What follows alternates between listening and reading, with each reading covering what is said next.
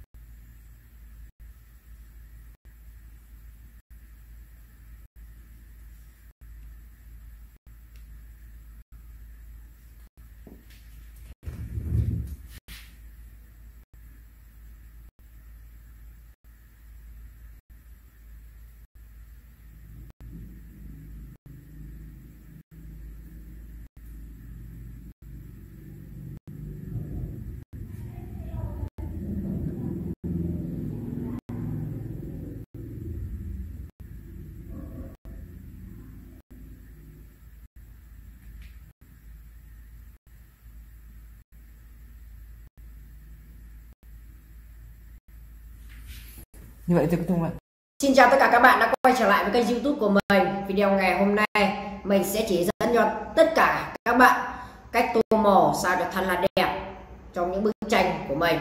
Và bây giờ, chúng ta cùng bắt đầu nào?